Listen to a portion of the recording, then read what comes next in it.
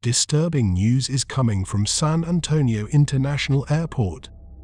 It has been reported that one of the airport workers was sucked into the jet engine of a plane that had just arrived from Los Angeles. The worker, named David Renner, sustained injuries incompatible with life when he was pulled into the engine.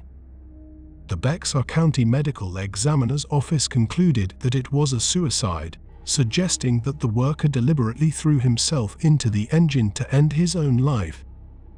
The National Transportation Safety Board initiated an investigation into the incident. Unifi Aviation, the company Renner worked for, expressed condolences to the family of the deceased for their tragic loss. Don't forget to like if you found this video interesting. Also subscribe to the channel and click the bell icon.